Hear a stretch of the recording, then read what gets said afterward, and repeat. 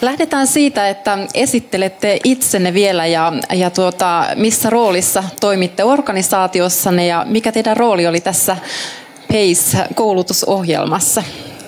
Ole hyvä Niina.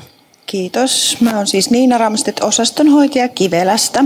Mulla on siellä tämmöinen ympärivuorokautinen osasto, eli näitä sanotaan vanhoja pitkä puolen osastoja.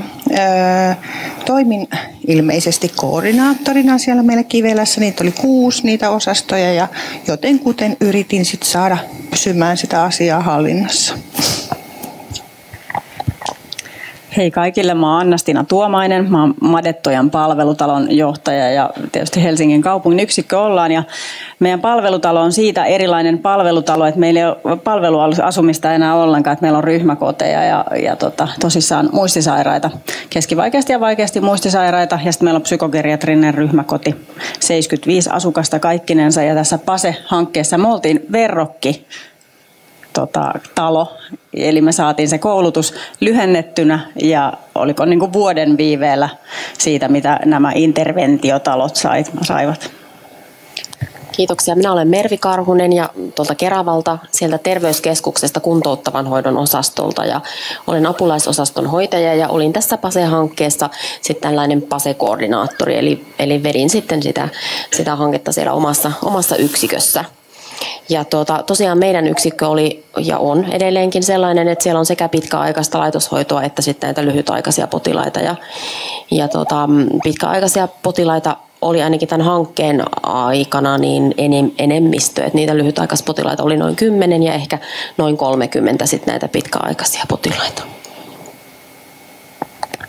Moi, mä oon Tiaisen Jenni ja tuun tuolta Helsingin kaupungilta Itäkeskuksen palvelutalosta. Tällä hetkellä mä oon osastonhoitajana siellä.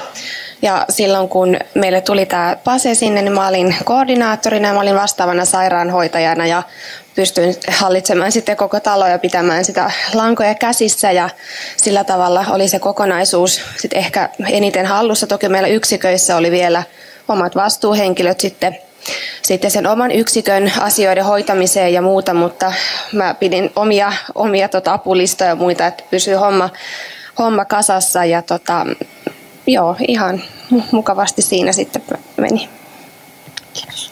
Eli mä oon Milla Säikkö, apulaisosaston hoitaja tuolla Myllypuron monipuolisessa palvelukeskuksessa. Et meillä on myös tämä niin Kivelässäkin ympärivuorokaudista hoivaa annetaan meidän asukkaille ja me kuultiin myös tähän verrokkiryhmään, että saatiin tämä lyhyempi koulutus Joo, kiitos. Ähm, me ollaan nyt kuultu tämän koulutusohjelman esittely tässä ja saatu hieman tunnelmia, että mitä se sisältää. Niin voitteko ensinnä kuvailla sitä, että miten tämä koulutusohjelma otettiin vastaan teidän yksikössä? Ole hyvä Milla. Ää, erittäin tyytyväisiä ja kiinnostuneita. Meillä oli tosiaan kolme iltapäivää ja kaikki oli ihan tupaten täynnä. Ja selkeästi koko sen aikana kävi ilmi, että tälle oikeastaan oli ihan paikka, aika ja tila, niin kuin tarve että sitä osaamista ja taitoa löytyi, mutta että se oli niin kuin näin systemaattista, niin se, se vielä puuttu, että oikein hyvin otettiin vastaan. Joo, eli meillähän me saatiin se koko koulutus ja siitä koko henkilökunta oli tosi, tosi innoissaan ja odottivat tosi paljon, tosi paljon sitten, että ne oli tosi laajat ne koulutukset ja hyvin, hyvin innolla. Kiitos. Ähm, meilläkin koulutusta kyllä odotettiin, ja, mutta ehkä se siinä alkuvaiheessa jo, kun koulutuksen sisältö ja sitten toimintatavat alkoi selvitä, niin sitten alkoi vähän kuulua purnaamista niistä papereiden täyttämisestä, mutta, mutta tota koulutuksiin osallistuttiin kyllä innokkaasti ja se oli osittain myös kyllä työvuorosuunnittelussa huomioitu niin hyvin, että, että se koulutus oli kirjattu sinne työvuorosuunnitelmaan, niin, niin se oli oikeastaan lähes kaikki kävi mekin oltiin kovin innostuneita, että tietysti tämä saattohoito kaikkinensa oli ollut jo niin kuin meillä ajankohtainen jo pidemmän aikaa ja, ja sillä niin kuin osa sitä meidän arjen työtä, mutta että tämä kyllä niin kuin oli tosi tervetullut uskon vahvistus ja, ja me oltiin aluksi pettyneitä, että me ei päästy tähän interventioryhmään, että me joudutaan odottamaan sitä koulutusta, että me ollaan vain verrokkeja. Mutta itse asiassa tämä lomakkeiden täyttely, niin voi olla, että ihan hyvä juttu oli tämä olla verrokkina. Joo, Kivelässä oli siis kuusi osastoa ja mä puhun nyt ihan sillä yleisesti. Valehtelisin, jos väittäisin, että kaikki huutas jipii, koskaan ei huuda jipii kaikki. Mutta tota, mä luulen, että yleisinnostus oli niin kuin positiivinen kaiken kaikkiaan. Et tietysti turnausväsymystä tuli siinä jossain kohtaa, mutta mm, olen oikeasti ihan yhtä tyytyväinen kuin silloinkin, kun mä kuulin, että päästään tähän interventioryhmään. Olen vieläkin tyytyväinen. Mainio. Tämä kuulostaa todella kannustavalta ajatellen tulevaisuutta. Mikä teidän käsitys on siitä, että mikä näistä kuudesta askeleesta oli kaikista hyödyllisin? Ole hyvä Niina. No, mulla saattaa olla vähän erilainen käsitys ehkä kuin muilla. Ähm, mä uskon, että kaikki oli näistä oikeasti hyviä. Ja sitten kun niitä vähän hiotaan, niin ne, ne tota, on, on ihan varmaan kaikki hyviä askeleita. Öö, lomakkeista sanoisin niin, että meille öö, oli hyödyllisin tämä kakkonen, eli tämä voinnin, mitä tässä ehkä joku ihmetteli, että miksi tämmöistä viittitään piirtää. Mutta pitkän matkan jälkeen, kun sitä piirrettiin se vuosi, niin me huomattiin, että pahus, tämähän on ihan oikea lomake. Et tässä tulee pikkuhiljaa niin kuin selville se kunto. Te kaikki, kun teillä on lapsia tai jotain, niin te näette niitä aika usein ja te ette huomaako yhtäkkiä sillä, että apua, se onkin kasvanut. Ja samalla hoitajat, kun näkee päivittäin tai viikoittain, niin ei huomaa sitä pientä hiipumista, eikä välttämättä sit siinä, kun tulee se semmoinen joku romahdusvaihe, niin huomaa miettiä, että kuinka hyvin parani takaisin. Ja, ja sitten kun sitä seurataan, sitä lomaketta, niin sitten voidaan ruveta miettimään, että onko meillä nyt ihan varmaan kaikki asiat niin kuin jees. Sitten siinä kohtaa, kun se selkeästi laskee. Et se oli niin kuin siinä, niistä lomakkeista kaikkein paras. Se oli hyvä, että sä ennakoit tänne, että ehkä kaikki ei ole ihan samaa mieltä. että tietysti kun meillä on jo integroituna meidän muihin mittareihin, vaikkapa raihin nämä voinnin seurannat ja muut, niin se ei ehkä ollut se, mitä mä ajattelin, mutta että mä tuosta aikaisemmin sanoin siitä uskonvahvistuksesta, niin, niin ehkä se puheeksi otto, että jo nyt hoitoneuvotteluissa me otetaan nämä toivomukset se tulevaisuuden suunnittelu niin kuin huomioi ja ne loppuvaiheen hoidon toiveet niiltä omaisilta, niin sen mä sanoisin, että se on tosi tärkeä. Ja sitten kyllä musta se niin kuin, tämä hyvin dementoituneen ihmisen kivun arviointi, lomake, on musta tosi hyvä. Et kun siinä on se niin kuin kehonkieli, hengitys ja musta ihanin on se lohdutettavuus, niin, niin tota, se oli musta tosi arvokas lomake. Joo, eli meidän osastolla ihan ylivoimaisesti tärkeimmäksi nousi se hoidon koordinointi ja moniammatillinen tiimityöaskel. Ja tuota, ehkä sen takia juurikin, että, että me saatiin ne tiimikokoukset pyörimään sillä tavalla, että niihin osallistui lääkäri. Ja tuota, se on, käytäntö on meillä nyt sitten jäänyt, jäänyt tosiaan päälle. Et välillä vähän vaihtelevasti, että et lähinnä nyt sitten silloin, kun paikalla on oma lääkäri. Et sijaiset harvoin sitten ehkä ei tunne niin hyvin asukkaita mutta, ja potilaita, mutta, mutta et myöskin sit se työaika saattaa olla vähän enemmän kortilla. Mutta et silloin kun on oma lääkäri saatavilla, niin pyrimme noin kerran kuukaudessa ollaan pyritty pitämään sitten, sitten näitä moniammatillisia tiimikokouksia ja ei yritetä koko osastoa käydä niistä läpi, vaan puolet potilaista. Ja näiden lisäksi tietysti normaalia kiertoja sitten, mutta että ja se on, se on niin kuin edelleenkin, kun kysyin työntekijöiltä, niin tämä oli semmoinen, mitä aina kaivataan. Sitten he alkavat kysellä, että missä se tiimikokous nyt sitten on, kun sitä ei ole hetkeen ollut. No, meillä oli aika paljon keskustelua näistä, että mikä näistä olisi sitten ollut se kaikkein paras. Et meillä tykättiin tosi paljon tuosta askel kolmosesta, tuosta moniammatillisista arviointikokouksista, ja niitä meillä edelleenkin on, on tosi paljon. Näihin oltaisiin toivottu silloin lääkäriä, mutta meillä oli sellainen tilanne, että oli paljon ostopalvelulääkäreitä muutaman kuukauden aina kerrallaan, taas tuli uusi, niin se sitouttaminen oli tosi hankalaa. Et nyt on onneksi meillä ihan hyvä tilanne, että on oma lääkäri. Mutta tätä me ei kuitenkaan nyt valittu valittu siihen, koska se oli jo meillä käytännössä tavallaan nämä arviointikokoukset, jossa myös käsiteltiin sitä niin kuin lähestyvää kuolemaa.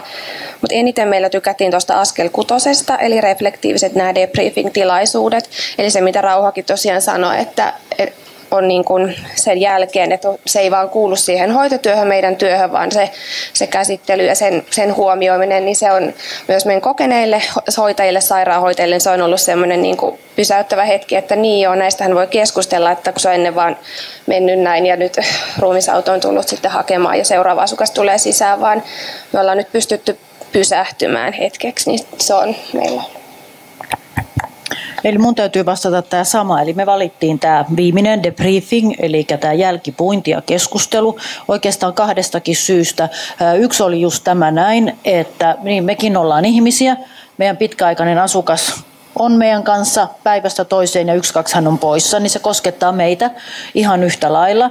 Niin, ja varsinkin se huomataan siinä, että jos olet itse ollut vapailla tai lomalla ja sun oma asukas on kuollut siinä aikana, niin kyllä on hirveä tarve kuulla, mitkä hänen ne loppuhetket oli ja kuinka se meni niin sitä keskustelua käydä, mutta myös sen myötä, että sä pystyt arvioimaan sitä ja käymään sitä keskustelua, mikä meni tosiaan hyvin, mikä meni huonosti, missä meillä on parannettavaa. Näin kannattaa tehdä jatkossakin, jotta koko ajan saadaan arviointia siitä, että miten sitä pitää kehittää. Kiitoksia. Aivan ilahduttavaa kuulla teidän käytännön kokemuksia näistä askelista. Ja kuten huomaatte, niin, niin jokaisessa organisaatiossa hieman eri askel saa enemmän jalansijaa kuin toinen. Entä jos käännämme tämän kysymyksen toisinpäin? Eli mikä näistä askelista oli hyödyttömin? Ole hyvä Milla. Oikeastaan ei mikään. Niin ei voi sanoa, että mikään oli hyödyttömin. Ne muut, mitkä ei sinällä tähän just valikoitu valikoitunutkaan, mikä olisi ollut paras, oli sellaisia, mitkä oli ehkä jo niin tuttuja, enemmän tai vähemmän käytössä olevia, että sitten tuli, että joitakin ei otettu käyttöön ja toiset taas lähti elämään semmoista omaa elämää, että mitä meillä on ollut jo käytössä ja tuli sitten semmoinen sopiva sekoitus, että osa sitä jo vanhaa käytäntöä ja sitten otettiin jotain uusia juttuja, mitkä niin kuin tuli täältä tämän pasen kautta sitten. Mutta ei, ei voi sanoa, että mikään olisi ollut hyödytön.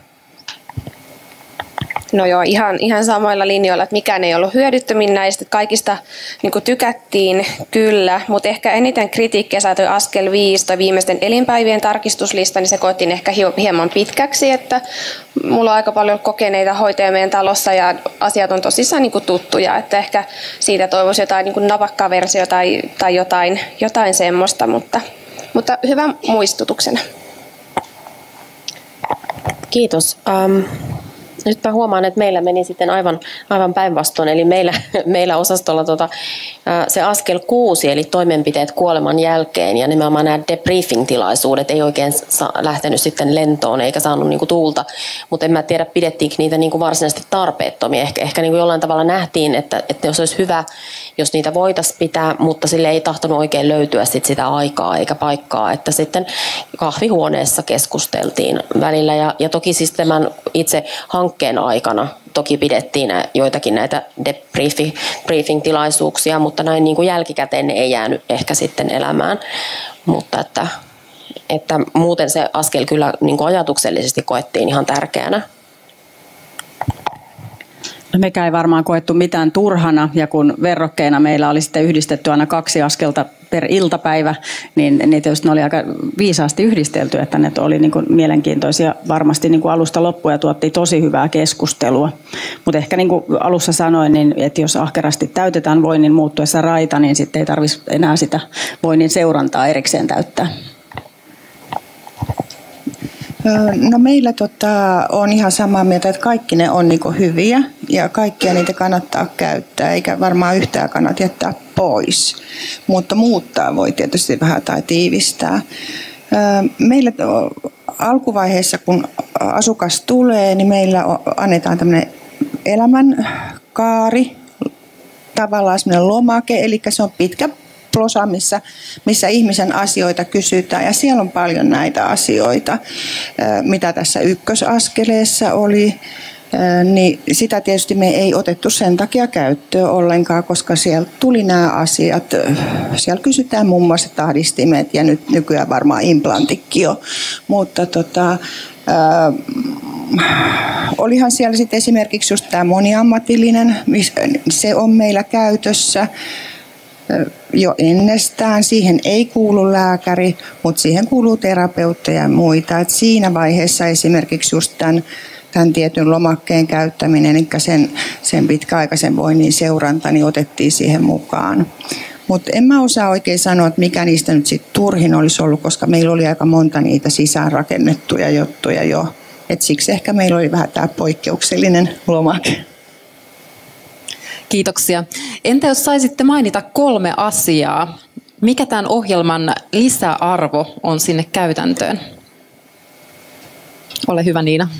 No keskustelu ja se, se vertaistuki on ihan niin kuin semmoinen ykkönen. Eli en suosittele ihan kokonaan pitämään verkkokurssina.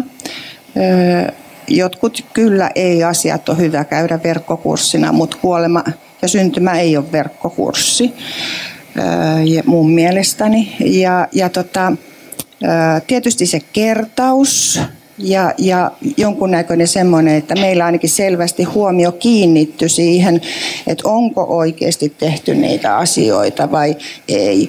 Että se, että jos on uusia hoitajia, niin se on ihan ok, mutta ihan oikeasti me vanhatkin hoitajat, siis meidän vanhat hoitajat, niin saattaa olla niin rutinoituneita, että ei enää huomaakaan sitä asiaa että, että niin pitää asioita itsestäänselvyytenä ja kuolema ei ole yhtään sen enempää itsestäänselvyys kuin syntymäkään mun mielestä. Ja mä ajattelisin, että parasta antia oli se niin kuin varmuuden kasvu siihen hoitajien, että, että he osaavat hoitaa ja, ja se kipu on hallittavissa hyvällä yhteistyöllä tietysti lääkärin kanssa, mutta että se, että kodinomaisessa ympäristössä niin kuolema on kuitenkin luonnollinen ja joskus ihan tervetullutkin asia. Ja nyt täytyy yhtyä edellisiin, edellisiin puhujiin, eli, tuota, eli keskustelua aiheesta nousi varmasti silloin hankkeen aikana ja, ja ainakin niille hoitajille, jotka, jotka siihen sitten on osallistunut, niin, niin heille on varmasti jäänyt semmoinen äh, niin kuin sinne tausta-ajatuksena, että, että mitkä on ne keskeiset asiat tässä niin kuin elämän loppuvaiheen hoidossa ja, ja se nousee sitten siellä heidän tekemässään käytännön työssä, työssä esille. Kiitos, nyt ei tästä asiasta tullut muuta. No meillä ehkä justiinsa, että se tietoisuus on lisääntynyt tosi paljon koko talossa ja jos uskalletaan keskustella ja puhua, puhua niistä ja ottaa rohkeasti asiat esille niin kuin omaisten kanssa, kun uudet asukkaat tulee, niin, niin tota, siinä sitten niin kuin luontevasti, mutta ei niin kuin mennä istumalla istumaan keskustelemaan siitä asiasta, vaan miten ne siinä alussa luontevasti tulee ja, ja näin. Mutta No meillä just tämä keskustelu, ääneen puhuminen ja sitten selkeästi sitä myöten huomattiin, että on selkeä tarve sellaiselle systemaattiselle toimintamallille, joten me hyödynnettiin sitten näitä PASEN askeleita ja sitten meidän omia toimintamalleja, jotka meillä oli talossa, ja tehtiin sitten ikioma tämmöinen palliatiivisen hoitotyön malli, mikä pitää sitten sisällään, mitä tehdä, milloin tehdä, kuinka tehdä, hyvin paljon, tai paljon, mutta on kuitenkin tämmöisiä muistia checking-listoja, jotka vapauttaa sitten sen meidän tekemisen, että me voidaan sitten olla siellä asukkaiden ja, omaisten luona ja läsnä, kun me voidaan sitten vaan tsekata, että me ollaan kaikki nämä niin sanotut rutiinit muistettu tehdä. Ja tästä täytyy sanoa, että ansiokkaasti meidän lääkäri oli myös mukana tässä, että hänenkin näkökulmansa on tässä mukana. Kiitoksia kaikille. Erityisesti Millaa kun katson, niin tulee mieleen se, että te olitte verrokkiorganisaationa äh, tässä mukana ja tota, lähditte silti kehittämään ansiokkaasti äh, tämän PACE-koulutusohjelman toimesta palliatiivista hoitoa ja, ja omia ohjeistuksia ja suosituksia siellä teidän toimintayksikössä eteenpäin kaikille kysymys, että jos saisitte kaiken vallan itsellenne, niin mitenkä lähtisitte kehittämään eteenpäin tätä koulutusohjelmaa? Ole hyvä Milla ensimmäisenä. Koko tätä koulutusohjelmaa, miten mä kehittäisin? Mm, Oikeastaan ehkä sillä viisi, että en osaa sisältöä sanoa, muuttaisinko sitä, mutta ilman muuta, että siitä pitää viedä niin kuin eteenpäin, keskustella asiaa, innostaa ehkä ihmisiä niin kuin ottamaan sieltä niitä oman näköisiä käytänteitä, arvioimaan mikä toimii siinä omassa yksikössä ja jättämättä pois sitten niin kuin niitä, mitkä omassa yksikössä jo on ja toimii hyvin, niin pitämään ne siellä mukana ja tekemään niin kuin omanlaisen et ei, ei voi valmiiksi niin kuin olla mitään, että otetaan tämä just tällaisena käytäntöön, vaan rohkeasti lähteä tekemään. Et meilläkin meni siihen reilu puoli vuotta, että se oli se lopullinen versio valmis.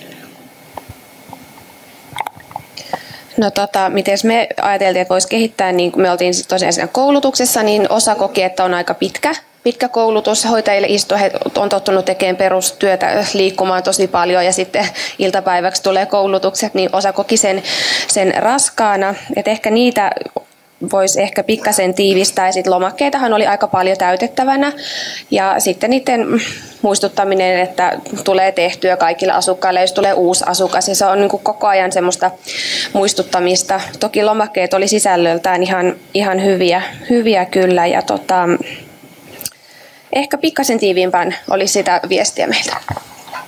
Kiitos. Meidän osastolta tuli toiveena, että, että, että joissakin osa-alueissa teoriaosaamista olisi voinut vielä niin kuin syventää, sitä olisi voinut olla enemmän ja sitä jäätiin kaipaamaan. Ja, ja sitten tietysti se, että lääkärit mukaan sitten jatkossa, se oli, se oli toive, toive myös. Ja ja nyt täytyy sanoa, että muisti palailee pätkittäin, niin edelliseen kysymykseen vielä palatakseni, niin ollaanhan mekin vähän sitä niin kuin muokattu ja kehitetty ja jäänyt käyttöön. Esimerkiksi tämä tulevaisuuden arviointi ja suunnittelun lomake, niin, niin siitä on sitten tuolla meidän osastolla, sitä on vähän muokattu ja otettu sitten osaksi tätä meidän mm, hoitoneuvottelua, että kun, kun niin kuin asiakas, potilas tulee, niin, niin siinä sitten se on ainakin semmoisena niin kuin listana vieressä, että muistaa sitten nämäkin asiat kysyä. Kiitos.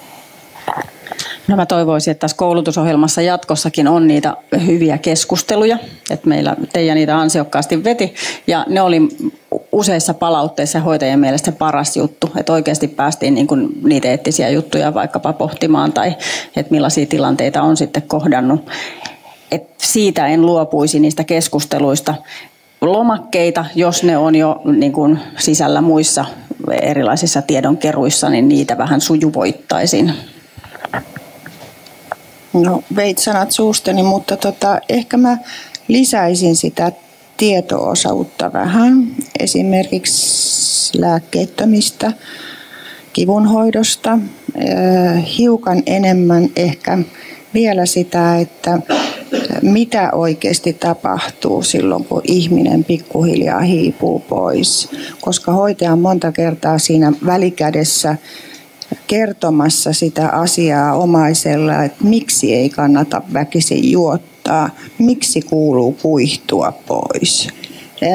Se jäi ehkä sillä että kaikki, se ei tullut ehkä tarpeeksi selkeästi siinä niin kuin esille, että, että on ihan tarkoituksenmukaista se, se kuihtuminen. Ja sitten kun me kaikki tiedetään, että omaiset, varmaan itse minäkin olen sellainen, että mä tyrkytän viimeiseen asti kaikkia, joka on niin kuin oikeasti haitallista. Kiitos. Tässä on tullut aivan mahtavia vinkkejä jo äh, tuleville äh, yksiköille, jotka ottaa tämän ohjelman käyttöön.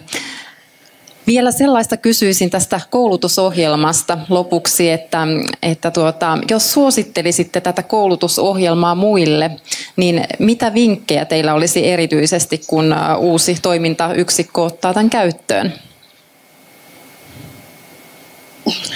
Apua.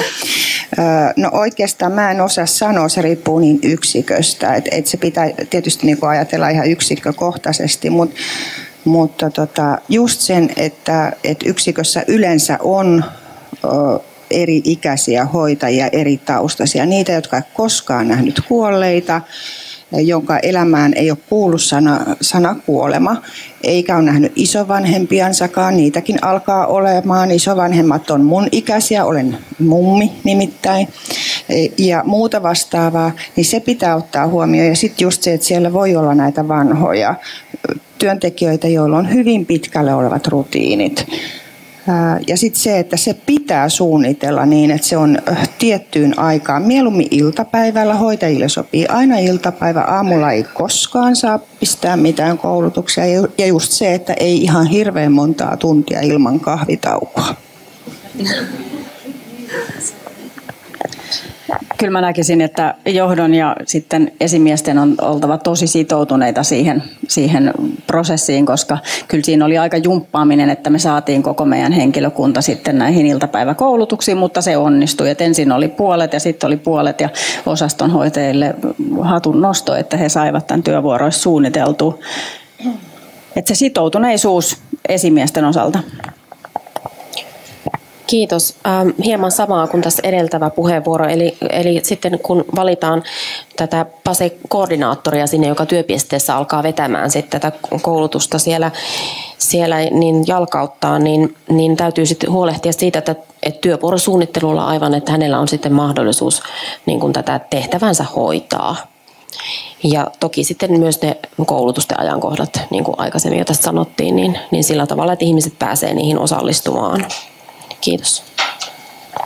No ehkä myös siitä, mitä oli, oliko se ekassa puheenvuorossa, että on eri ikäisiä ja kokeneita hoitajia ja kokemattomampia, että olisi ehkä siinä koulutuksessa enemmän huomioitu sitten sitä puolta tosiaan, ettei tule sitä turhautumista ja väsymystä ja nukahtelua tosiaan ja eikä liian pitkiä niistä koulutuksista ja ja jos on koordinaattori, niin että on tarpeeksi sitten että miettiä tosi tarkoin ihan siis talon sisällä, että kuka, kuka se on, että on aikaa siihen hoitamiseen, että se tulee, tulee kunnialla sitten hoidettua siellä talossa ja näin. No kaikkeen tuohon mitä lisättävää muuta kuin ehkä se, että mahdollisimman avoimin mielin, ilman ennakkoluuloja, niin sitä kautta varmasti saa kaikista eniten irti, koska aina on parannettavaa, aina on kehitettävää, mikä ei kuitenkaan ole koskaan niin kuin valmissa. Voisi sanoa, että no niin, tämä oli nyt tässä. Kiitoksia. Meidän asiantuntijoilla on ollut annettavana tässä rakentavaa kritiikkiä ja myöskin kannustettavaa palautetta tästä meidän koulutusohjelmasta. Ja tähän väliin on todettava, että tämä meidän koulutusohjelma on jo tähän mennessä herättänyt erittäin paljon positiivista kiinnostusta ympäri Suomen. Ja THL on tullut koulutuspyyntöjä antaa tätä kuuden askeleen koulutusohjelmaa. Mutta että senhän on tämän päivän jälkeen saatavilla, tai tässä sanotaan lähi lähiaikoina saatavilla tuolla EAPCn sivuilla äh, ihan julkisesti ja suomen kielellä ja myöskin englanniksi. Se on semmoinen sadan sivun paketti, ja tuota, siihen pääsee sieltä kautta perehtymään ja, ja soveltamaan sitten sinne omiin toimintayksiköihin. Siirrytään seuraavaksi yleisesti ottaen palliatiiviseen hoitoon. Mulla olisi ensimmäisenä semmoinen kysymys mielessä, joka liittyy ihan palliatiivisen hoidon käsitteeseen, koska se on kuitenkin semmoinen käsite, jota ei välttämättä aina niin kovasti käytetä Suomessa. Että missä määrin tämä palliatiivisen hoidon käsite on ihan siellä arkipäivässä ja käytännön hoitotyössä käytössä? Ole hyvä Niina. Mä oon varmaan tosi raaka, mutta mä sanon, että eipä sitä juuri käytetä. Ja mä vähän uskalla jopa sanoa, että eipä sitä taideta tunteakaan. No mä olisiko sun kanssa aina eri mieltä. Eli mun mielestä me käytetään sitä termiä, jos ajatellaan näitä me niin jo tota, keskivaikeasti vaikeasti muistisairaita ihmisiä, niin kyllä se on ihan juurikin sitä. Ja sitä niin kuin myös hoitajat käyttävät sitä termiä. Musta tuntuu myös, että kyllä se on, on meillä käytössä, mutta, mutta sitten välillä jää miettimään, että, että mitä se sitten, niin kun, että onko se enemmän käytössä siellä puheissa ja sitten se ei välttämättä kuitenkaan ehkä aina näy siellä, miten potilasta hoidetaan. Että se hoitaminen on kuitenkin yhteistyötä ja, ja sitä ei voi niin kuin, hoitajat yksin sitten kuitenkaan päättää.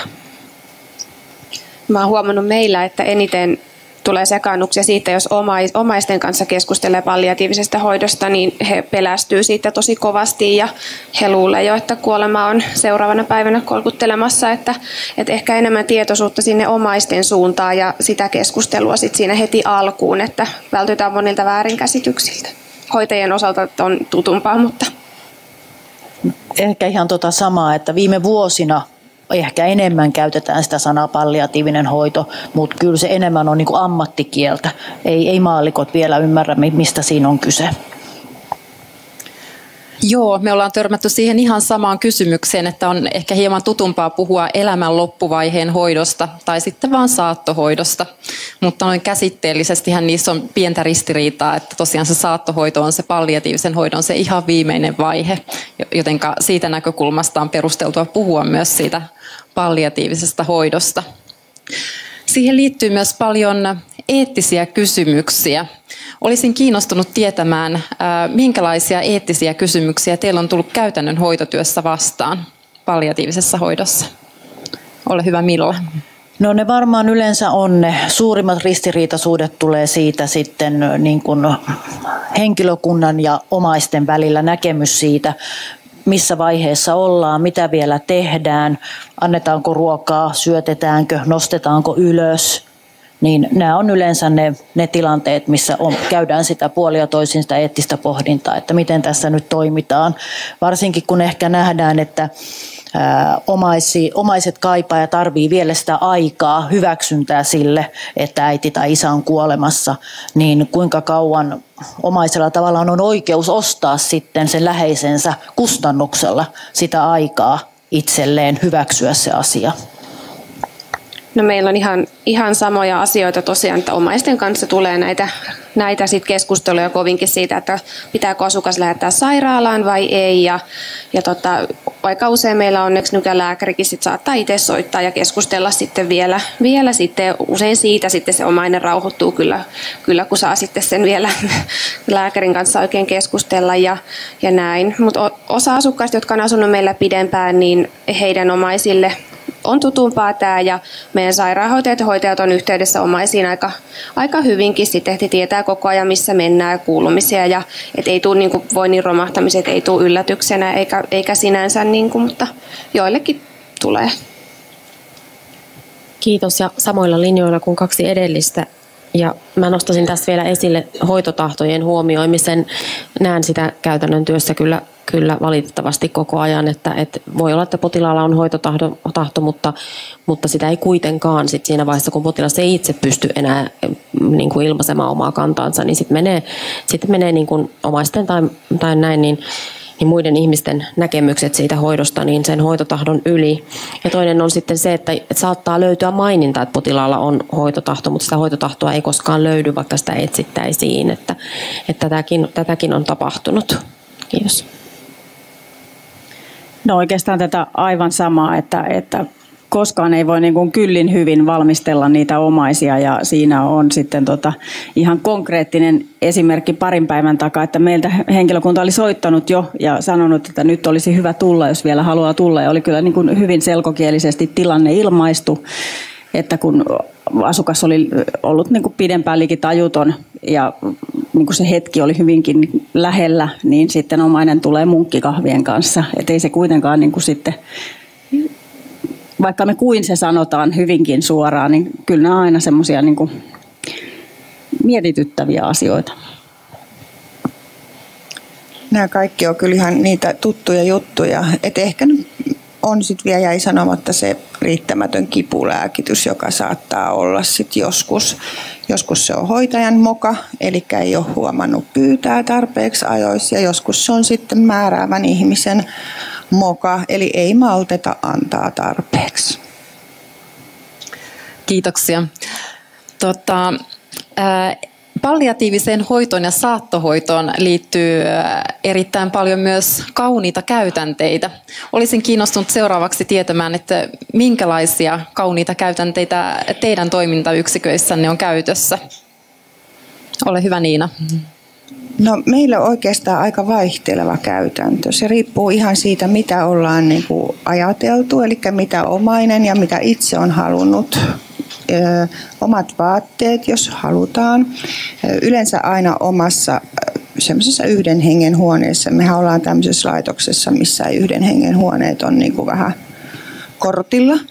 Mutta tässä tapauksessa yritetään saada aina se, että, että omaiset pääsis olemaan ja, ja kuoleman jälkeen tietysti suremaan ihan rauhassa ja muuta, mutta meillä ei ole tällä hetkellä mitään muistotauluja eikä valokuvasysteemejä. Että meillä on paljon muistisairaita ja, ja pitkälle edenneitä muistisairaita ja sitä ei ole nyt vielä ainakaan otettu, mutta siitä on koko ajan keskustelu, että käy, onko se hyvä käytäntö vai eikö se ole hyvä käytäntö. Että en osaa sanoa. Ja meillä kanssa on, että laitetaan huoneet nätiksi, meillä on omat huoneet asukkailla, niin sitten siitä ei ole mikään kiire näillä vainajilla pois. Eli voi olla vaikka toista vuorokautta, jos omaiset niin toivovat. Ja minusta se onkin tosi tervetullut, että ollaan palaamassa vähän niin kuin tällaisiin ruumiin valvojaisiin, että onko se meidän siitä, että ei ole lääkäreitä toteamaan niitä kuolemia se voi olla käytännön syy, mutta se on oikeasti poikinut tosi hyviä hetkiä niiden omaisten kanssa, kun ei ole kiire. Että et huone viilennetään, asukas laitetaan nätisti ja se on vähän niin kuin tämmöinen vanhan ajan ruumiinvalvojaiset.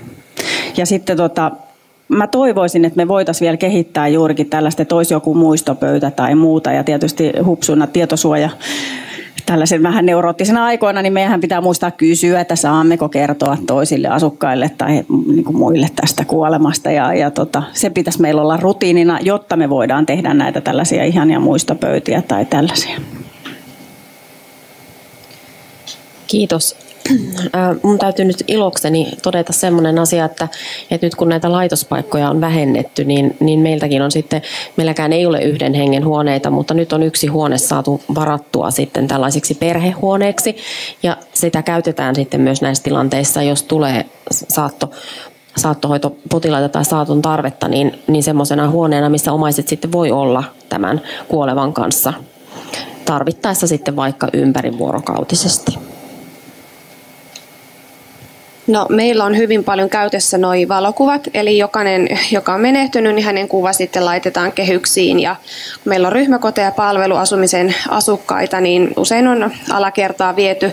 Meillä osa asukkaista on tuntenut toisensa kymmenen vuotta ja se on todella iso menetys jos se ruokatoveri siitä on menehtynyt, niin siitä on paljon keskustelua heillä. Siellä he ovat hyviä ystäviä ja he muistelee, muistelee sitten. Usein he jo etukäteen huomannut, että asukas on varmaan tekee kuolemaa, kun ei ole nähnyt ruoka, ruokasalissa muutamiin päiviin. Ja he on osannut jo sen aavistaa ja sitten kun on kuva tullut sitten siihen, niin on sitä paljon keskustelua ja näin.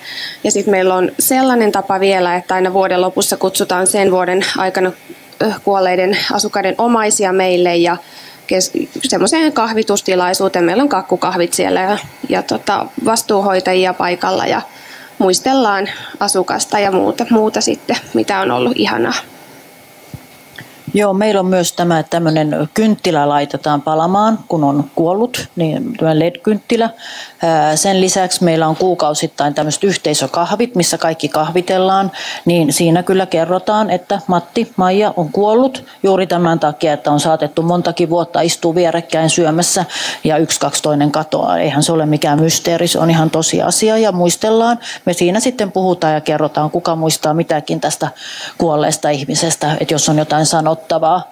Sitten on tosiaan tämä kerran vuodessa sama asia, että sinä vuonna kuolleiden omaiset kutsutaan paikalle ja vietetään yhteinen hetki. Ja sitten meillä on myös näitä hautakynttilöitä, että pihalle sitten on jokainen saanut, saanut laittaa sille kuolleelle omaiselleen sen kynttilän. Sen lisäksi meillä on mahdollisuus, jos haluaa, niin voi lähettää adressin omaisille. Ja sitten meillä on myös tapana, että pari viikkoa sen kuoleman jälkeen me soitetaan vielä omaisille perään, että, että mitä kuuluu ja miltä nyt tuntuu ja, ja näin. Kiitoksia. Tässäpä näitä tuli todella paljon kauniita käytänteitä. Entä jos saisitte lähteä kehittämään palliatiivista hoitoa Suomessa ja saisitte mainita kolme asiaa, niin mitä ne olisivat? Ole hyvä Milla. Kolme asiaa on. Yksi olisi sellainen ainakin, että ihan sama, oletko Helsingissä vai Utsjoki Kevo-linjalla, niin pitäisi olla samanlaista saatavuutta ja samanlaista laatua. Samoin sitten tätä ehkä yhteistyötä eri hoitotahojen kanssa, sairaalat, kotihoito, saattohoito, että se olisi, olisi niin kuin täysin saumatonta. Koulutus on ehdottomasti yksi asia ja ehkä tämmöinen ruohonjuuritasolla niin voisi sanoa ennakointi, ennakointi ja vielä kerran ennakointi. No tota, varmaan yleisesti tosi paljon toi keskustelu, keskustelu sitten ja mitä meidän talosta toivottiin ehkä, niin kuin, jos, jos saisi tämmöisen valtakunnallisen toiveen, että toi saattohoidon vapaaehtoistoimintaa, että jos sitä saisi niin kuin kehitettyä, kehitettyä vielä rohkaistua ja kannustettua ihmisiä siihen, että kyllähän paljon ulkoiluttajia löytyy ja kirjanlukijoita, mutta sitten tämä on tosi arka aihe, niin siihen on toivottu. Kiitos ja, ja tosiaan olen itsekin tuon laajemman keskustelun kannalta, että aihe on semmoinen monitahoinen ja vaikuttaa varmasti niin kuin moniin käytäntöihin sitten ihan käytännössä. Ja sen tähden se lääkäreiden mukaan tuleminen ja lääkäreiden osaaminen ja siinä niin kuin yhteistyö sitten hoitohenkilökunnan ja, ja lääkäreiden ja kaikkien tahojen kesken niin on tosi tärkeää mä tasaisin, että hyvä kivunhoidon varmistaminen kodinomaisissa olosuhteissa tai kodeissa, on ne sitten ryhmäkodeissa tai sitten ihan tuolla kotihoidon paikoissa. Mutta tota, sen lisäksi niin jotenkin se yhteiskunnallinen keskustelu siitä kuoleman luonnollisuudesta, mä jo sanoin noista ruumiinvalvojaisista, että se ei olisi niin kuin mörkö, niin se olisi musta niin kuin se kaikkein hienoin juttu, että, että kuolema on ihan hyväksyttävä asia. No mulla oli kanssa kivunhoito ja kivun lääkkeettömät hoidot tällä hetkellä varmaan se yksi asia ja sitten se asenne asennekoulutus, joka mun mielestä niin täytyisi tavallaan tulla. Mä kuulin, voin olla väärässäkin, että olisiko vuosi sitten esimerkiksi sairaanhoitajakoulutuksen peruskoulutukseen laitettu palliatiivinen hoito. En tiedä, onko lähihoitajilla, mutta surkeasti tarvis. Ja sitten mä haluaisin ihan sitä ikäihmisen ja vanhan ihmisen ymmärtämistä niin kuin lisää koulutusta siihen ihan sen takia, että asiat tulisi tutummaksi. Kaikki lapset, nuoret, päihde- ja mielenterveyslinjat vetää. Et ei se riitä, että meille tulee tai me, me saadaan hoitajia jostakin. Vanhusten hoito ei kiinnosta. Eli jonkun näköistä profiilin nostoa täytyisi saada. Mä kiitän teitä panelisteja tässä vaiheessa, mutta pyydän, että jäätte vielä istumaan paikallenne. On ollut todella kunnia saada kuulla teidän mielipiteitä ja ajatuksia sekä tästä koulutusohjelmasta että myös palliatiivisen hoidon kehittämisestä Suomessa ylipäätänsä. Otamme keskustelun mukaan seuraavaksi myös yleisön. Teillä on mahdollisuus seuraavaksi esittää meidän panelisteille kysymyksiä tai sitten yhtä lailla kouluttajille ja meille tutkijoille. Olkaa hyvä. Pien, pieni hetki. Kiitos. Kiitos kovasti. Riitta Antikainen lääkäri. Minä tulen Oulussa. Olin tällä perällä kirkolla kylässä, niin tota, kutsuttiin tänne, niin tuli samalla käymään. Tuota, mä oon tosi surullinen. Mä, mä oon geriatri ja minä olen kiinnostunut vanhusten hoidosta. Että ei sitten, eikö sinähän se epäilit, että ei kiinnostusta. Tuota, Tämä, nämä asiat käytiin läpi oikeastaan sen vanhan, vanhainkoti, vanhainkotihoitojen aikaan, eli tuota, näitä samoja, mitä te nyt pohditte. Ja mä oon tosi surullinen nyt, kun mä kuulen tästä, että teillä ei ole lääkäriä siinä tiimissä, tai se lääkäri on siinä niin kuin, vaan silloin, kun tarvitaan. Että se lääkäri kuuluu siihen tiimiin ehdottomasti. Nämä on monisairaita, nämä on monilääkittyjä, ja, ja tuota, niitä asioita ei voi tehdä, samoin kuin hoidon linjauksia ei voi tehdä muut kuin lääkäri, diagnoosia ei voi tehdä, mutta tosiasiassa siinä on se, että se lääkäri hän tekee siinä itsensä tarpeettomaksi, kun se sen tiimin kanssa työskentelee aikansa. Sitten hoitajat on kyllä niin herkkiä, että ne pystyy niin kuin arvioimaan sitä asiaa, kun he tietävät, että heillä on lääkäri sillä takana. Ja, ja he, hoitajat on herkkiä ja, ja kouluttavat sitten niitä nuoria lääkäreitä, jotka sinne tulee. Tämän lääkärin pitäisi olla kokenut. Se ei saa olla kokematon. Viimeksi talon tullut lääkäri, joka sanoi meille kerran, kun pantiin kesäksi vanhan kotiin kandi, että mieluummin olisin ampunut, jos tuo olisin tiennyt. Ampunut itteni. Eli tuota, tämä on tosi, tosi tärkeä asia, että se lääkäreiden pitäisi olla siinä. Tämä hyödyttää lääkäriä, se hyödyttää potilaat, se hyödyttää teidän tiimiä ja lääkärit kyllä sitten voivat, kun se tiimi osaa sen, ne yhteiset linjaukset, niin lääkärin työ on tarpeetonta. Toinen minä sitten kyllä ku, ku, kuuntelin kauhussa, niin hoitotahto on pyhä. Siitä ei neuvotella. Me, meillä on lainsäädäntö, joka sanoo, miten potilaan kohdalla tehdään hoidon, hoidon linjaukset silloin, kun potilas on muistava ja milloin se on inkompetentti tekemään. Ja hoitotahto on pyhä.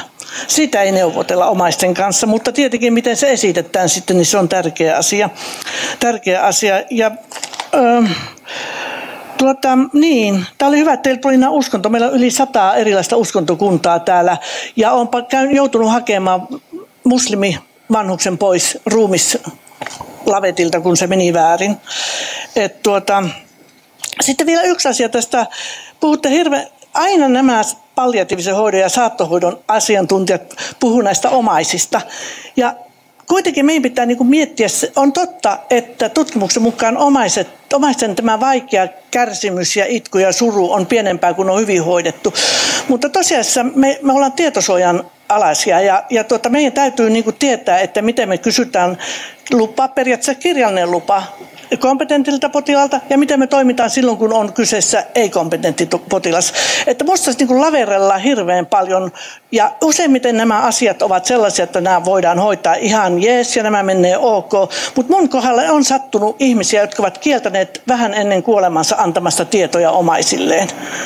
Ja heillä on siihen oikeus ja oli sitten mikä tahansa. Tämä pitää musta niinku miettiä. Tämä oli niinku mun saarnan aihe tässä nyt. öö, joo hieno, hienoja asioita. Niin, sitten vielä tästä, että tässä puhuttiin siitä, että lonkkamurtuma. No, menee tietenkin huonoon kuntoon, mutta sehän ei ole sen, sehän ei ennakoi sitä kuolemaa varsinaisesti, vaan sitä ennen tapahtuvan liikun, liikkumisen huononeminen, kogniition huononeminen ja syömisen loppu. Että nämäkin on sellaisia asioita, mistä niin lääke, lääketieteellinen tieto pitäisi olla siinä, että, että tiedetään, että mitä oikeita asioita siinä otetaan huomioon silloin, kun ihminen on menossa kohti kuolemaa ja sitten ei niin pyristellä, ei pyristellä sitten tarpeettomasti. Ja siinä lääkäri voi tukea teitä sitten siinä elämän loppuvaiheen hoidossa. Kiitos. Sä voit sanoa aamen. Amen, amen, amen, Kiitoksia erittäin ansiokkaasta puheenvuorosta. Äh, seuraavaksi, äh, haluaako panelistit kommentoida tähän väliin? Tervetuloa Helsinkiin töihin. no niin, tässä oli hyvä mainoskin tähän väliin. Ja sitten seuraava kommentti, ole hyvä Jari. Joo, kiitos ensinnäkin paneelille että se herätti mut ajattelen 60-luvun tutkimuksia, missä puhuttiin debriefingistä ensimmäistä kertaa, mutta palaan siihen vasta siihen kutoskohtaan askeleen. Mä aloitan tästä kakkosesta, kun tässä Oulun geriatri pisti Saaran pystyyn, niin mä vähän jatkan tätä nyt. Eli nyt siinä... Saas nähdä nyt. Eli se äh, Vaihe kaksi, mikä siinä on se voinnin arviointi. Me jäin miettimään, kun siinähän ei ollut mitään skaalaa. Siis mä ymmärsin oikein. Onko se näin? Siinä on itse asiassa yksi juju, ja se on se, että mehän saadaan aina sitä, mitä me tilataan. Eli suurin osa mittareista ohjaa meidät jo ajattelemaan tietyllä tavalla. Ja tässä mittarissa on tietysti mahdollisuus rakentaa kalibrointi myös siitä sillä tavalla, että otetaan, mä en tiedä mikä se syy on, miksi se on jätetty, mutta mä kuvittelisin, että mulla olisi ainakin tämmöinen syy siihen, jossa erityisesti otettaisiin lääkäri mukaan siihen ensimmäiseen vaiheeseen, jolloin me saataisiin näkyviin heti, kuinka paljon sillä henkilöstöllä, otetaan nyt vaikka 10-15, eroa se käsitys siitä alkuvaiheesta. Ja, ja sekään ei ole tärkeä sinänsä paljon, miten se ero, me saadaan keskiarvo, mutta me saadaan se porukka keskustella, jolloin ne pääsee saamaan kuvan siitä, miten sitten lähtee se prosessi käyntiin, joka synnyttää sitten varmaan sitä, mistä sinä puhuit, joka oli sitä arvokasta, näin mä olettaisin. Niin, siinä on se voimavara. Joo. Voimavara, mikä on tullessa ja voimavara, joka koko ajan hiipuu, niin. joka nähdään siinä niin kuin Joo.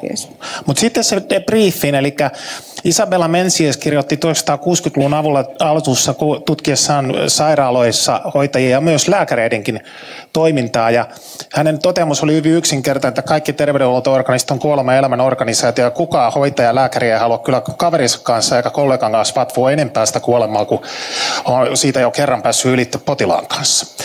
Ja, ja tämä on nyt sitten se toinen ongelma, mikä liittyy tähän. Me ollaan tällä hetkellä tilanteessa, että nyt sitä vaan pakko vatvoa, jotta jaksaa huomennakin tehdä töitä.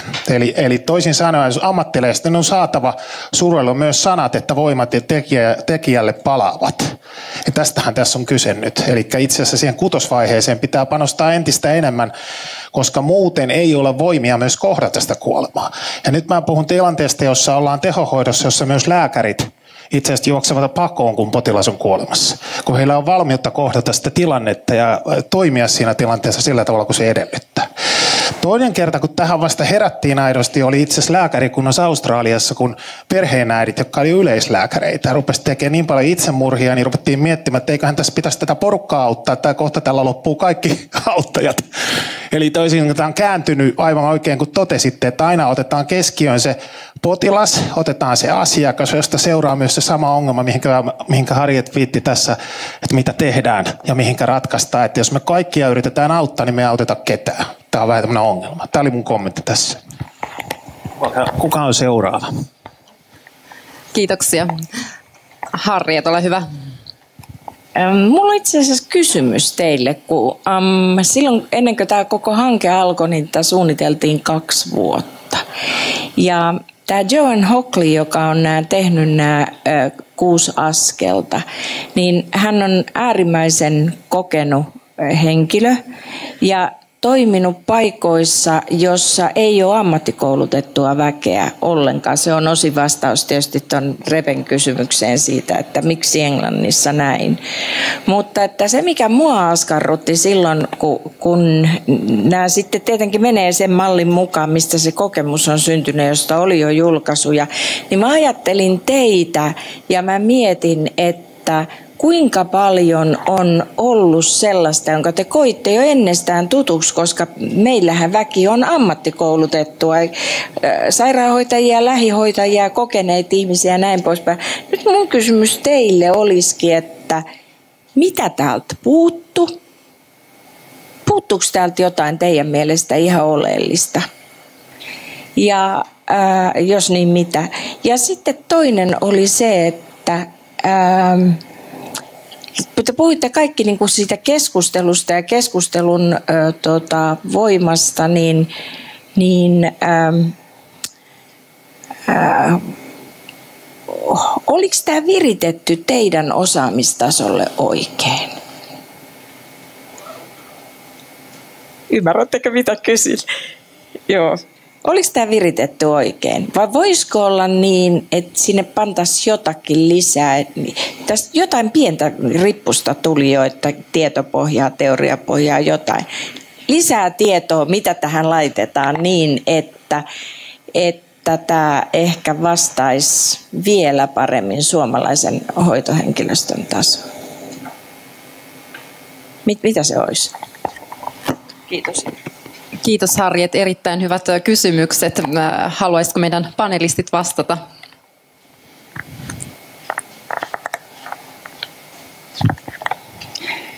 Valtaosa näistä asioista oli hirveän tuttuja meidän hoitajille, eli juurikin näin, että se osaami tai tietotaso oli varsin hyvä jo lähtökohtaisesti ja, ja sitä, oli, sitä työtä tehty. Et ehkä sit olisi voinut niin kuin vähän kalibroida sen pikkusen niin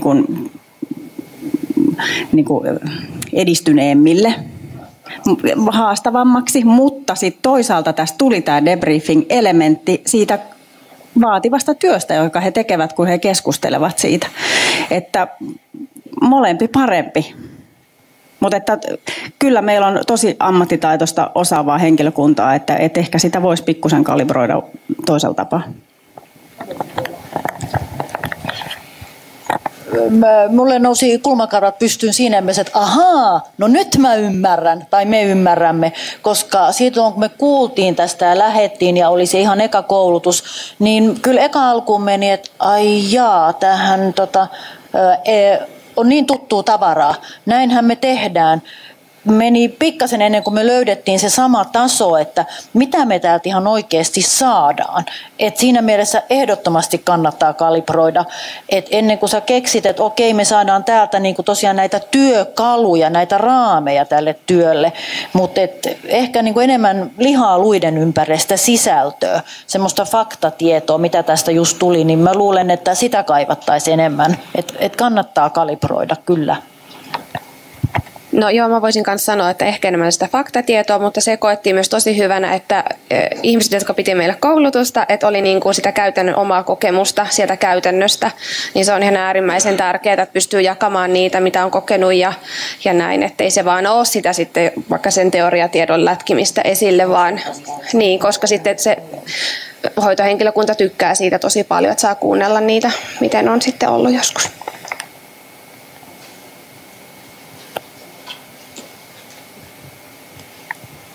Joo, voisin kouluttajan näkökulmasta sanoa sen, että kyllähän meilläkin tietysti oli alussa vähän se, että tiedetään, että suomalaiset hoitajat on koulu, hyvin koulutettuja – ja jotkut asiat tuntuu niin kuin, vähän niin kuin naiveiltakin ja mit, miksi me tätä, mutta meillähän oli tässä koulutuksessa, nythän meillä on mahdollisuus tehdä ihan mitä vaan, hirvittävän tiukat ohjeet. Ja ihan siis sellainen sapluuna, jonka mukaan piti tätä ohjelmaa käydä. Ja toki me yritettiin pikkasen, pikkasen sitä mukauttaa näiden hoitajien osaamiseen ja taustaan, mutta sen takia varmaan jotkut asiat kuulostavat, että miksi ihmeessä nyt niin kuin tätä asiaa ja varsinkin se askel viisi jossa oli just niin kuin, että meillähän se on jo käytössä, mutta aivan tässähän on niin kuin siinä mielessä aivan ihanaa ajatella se, että kun tehdään suomalaista PASE-ohjelmaa, niin mitä me voidaan sieltä sitten ottaa sellaista lisää siihen, mitä tällä hetkellä ei ole.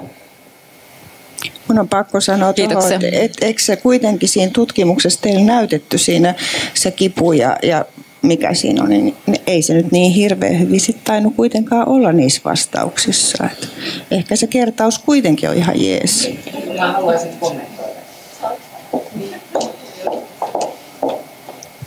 Niin kuin ammattiin kuuluu, kiitos Marika, ammattiin kuuluu, niin tota, tässä onkin niin kuin se miettiminen, että tota, mä olin noukkinut sinne esiin siihen omaan esitykseen niin näitä, mit, miten paljon meiltä löytyi näitä erilaisia ratkottavia pulmakohtia. Mutta sitten niin kuin se keskustelu, mitä siinä ei keritty käymään ja jota kannattaa jättää sinne, että mm, laatu on aika merkillinen asia jos ongelmia ei löydy, niin on todennäköisempää, että laatu on huonoa, koska henkilöstö ei tunnista niitä asioita, mitä pitäisi tunnistaa. Ja jos taas niitä ongelmia on keskipaljon, on aika mahdollista, että se homma sujuu aika hyvin. Jos niitä taas on hirveän paljon, niin voi olla, että siellä on laatuongelma. Mutta me ei voida olla varmoja, onko tämä resonemangi oikea vai ei. Et se, niin kuin, ähm, vastausten katsominen pitäisi aina palautua sinne yksikköön ja niiden ihmisten itse kattella. Ja sen takia oikeasti niin kuin ne asiat, joita mä olin poiminut tuohon, ei kerro tehdäänkö meillä hyvää vai huonoa työtä, vaan se kertoo siitä haasteesta.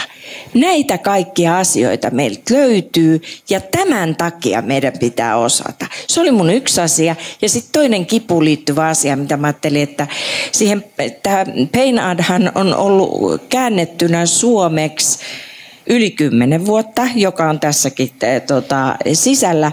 Ja, ja sillä äm, yksi Kustankartanon lääkäreistä teki tämmöisen opinnäytetyön, kun hän oli, oli Pohjoismaissa kipukoulutuksessa. Ja hän katsoi kaikki loppuvaiheen dementiapotilaat tällä. Ja niin hänellä kuin monilla muillakin tota, on tullut esiin tämä tämän mittarin käytössä, mutta myös muiden kippumittareiden käytössä, että se mikä siinä kannattaa vakioida vielä on, että kaikki, mit, kun seuranta tulee, astuu kuvioon, niin kaikki, jotka mittaa, niin katsoo joko niin, että rauhallisessa vaiheessa, jolloin mitään ADL-toimintoja, perustoimintoja ei suoriteta, tai sitten niin, että se kipu mitataan niin kuin samojen tehtävien suorittamisessa. Koska se, että onko se ihminen levossa vai tapahtuuko hänelle jotain, tekeekö hän jotakin, niin se muuttaa kokonaan ne vastaukset. Ja se ei ole se mittarivika, vaan se on, tota, näin tapahtuu, koska ne ihmiset reagoivat sille. Tämä oli vain semmoinen, että mä ajattelin, että on hyvä muistaa sanoa tämä niin kuin jatkoon varten, jos käytätte. Tota, mutta mm, lämpimästi suositaan aina silloin tällöin sillä peinadilla katsottavaksi. Kiitoksia. Meillä on aikaa vielä ottaa yksi kysymys. Ole hyvä. Hieno juttu, opea saavutus. Oli myös mukava kuunnella erilaisia kokemuksianne eh, paneelilta. Tämmöinen koulutushan on just se, mitä Suomessa tarvitaan, mutta oikeastaan mulla on, eh, mulla on nyt sitten tutkijoille kysymys, miten tästä nyt eteenpäin, että Yksi ongelma koulutuksessa on aina, että sitä, niitä kursseja on joka paikassa ja, ja ne on laadullisesti erilaisia. Ja, ja tuota, niin kuin tämäkin nyt on vähän räätälöity englantilaisesta paketista. Tämmöisiähän on Australiasta, saa Yhdysvalloista, saa netistä nykyisin vaikka minkälaisia paketteja. Tässä oli osa validoituja instrumentteja, osa oli vaan laitettu. Mm, mutta tuota, se tärkeä kysymys on, että, että nythän, nythän opetusministeriössä on paljon eduhanke käynnissä ja, ja minä Hökään ja Juho Lehdon johdolla kaikki AMK ovat sitoutuneet aloittamaan palliatiivisen hoidon opetuksen sairaanhoitajalle. Niin mitä tälle tulee tapahtumaan? Tietysti tämmöiset hankkeet ovat kaikkiin yksiköisin enemmän kuin suotavia, koska jokainen osasto voi kohentaa omia puutteitaan vaikka minkälaisella nettityökalulla. Mutta nyt todennäköisesti meidän huomenna on hirveän paljon parempi, kun kaikkiin AMKihin tulee standardoitu koulutusohjelma. Lääkäreillähän meillä on jo erityispätevyyskoulutusohjelma ollut pitkään ja ne, jotka ovat nämä noin 90 lääkäriä, jotka ovat suorittaneet sen erityispätevyyden, ovat saaneet suurin piirtein samanlaisen koulutuksen. E, koko aika on lisää tulossa. Niin sitten ehkä kannattaa myöskin miettiä, että mikä THL-rooli tulevaisuudessa on tässä suhteessa. En oikein jaksa ymmärtää, että THL olisi tämmöinen niin koulutusorganisaatio.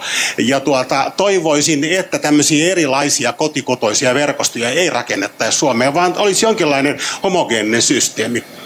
Mutta jos se AMK-koulutusohjelmat, johon kuulemma nyt kaikki AMK ovat sitoutuneet, jos se saadaan käyntiin, niin vasta muutaman vuoden kuluttua meille tulee sairaanhoitajia, jotka ovat käyneet tällaisen koulutusohjelman, niin sitten tarvitaan tietysti vielä ammatillista jatkokoulutusta. Mutta olisi hyvä olla yhteistyössä opettajien ja tutkijoiden keskenään, ettei käy niin, että yksi virasto kehittää tämmöisen ja toinen virasto kehittää tommosen ja, ja, ja sitten sitten ollaan vielä syvemmässä suossa.